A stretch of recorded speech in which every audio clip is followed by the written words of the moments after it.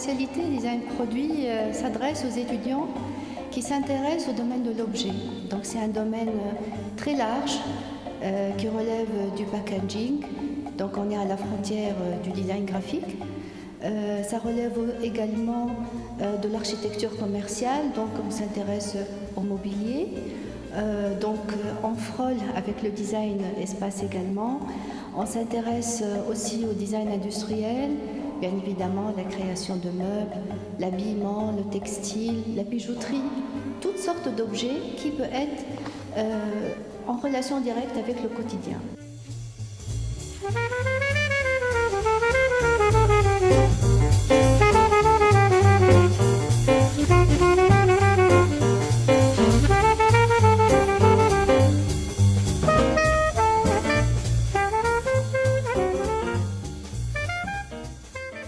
Les objectifs de la spécialité, étant donné les le système LMD, il se réduit à euh, presque trois semestres de spécialité, sachant que le quatrième semestre, euh, c'est un stage.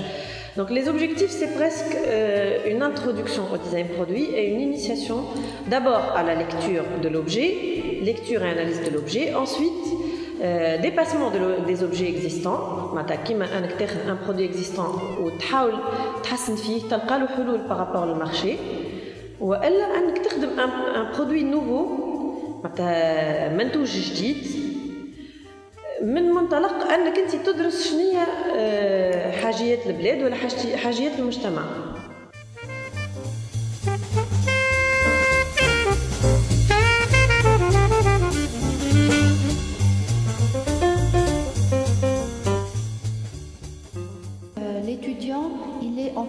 permanence confronté euh, aux professionnels, aux artisans.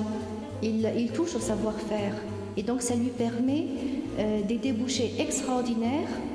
Et euh, à mon sens, chaque étudiant peut trouver sa place par ailleurs, surtout avec un PFE qui s'intéresse, donc un projet de fin d'études, qui s'intéresse à la réalisation d'un objet, d'un produit qui peut être euh, fonctionnel tout de suite et qui peut être présent sur le marché d'une manière directe au consommateur.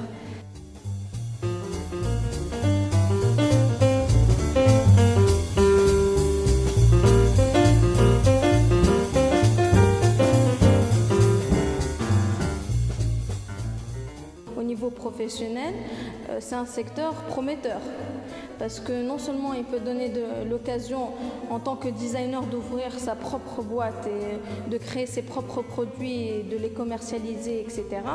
Euh, ainsi qu'on euh, peut travailler, ça veut dire pour des, euh, sociétés dans l'ameublement ou, ou autre, parce que c'est très vaste dans le design produit, et on peut justement contribuer à la création de ces produits.